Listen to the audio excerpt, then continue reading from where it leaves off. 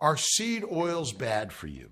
Yes, yes, and yes. Vegetable oils are seed oils like soybean oil, corn oil, sunflower oil, safflower oil.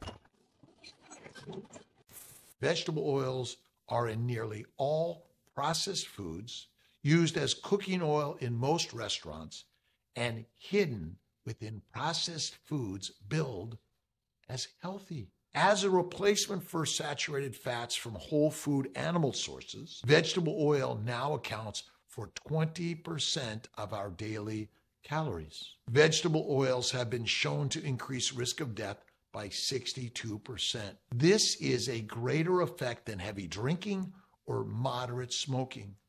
Vegetable oils account for up to 30% of global agricultural land use, but provide less than 0.01% of our vital micronutrients. So you tell me,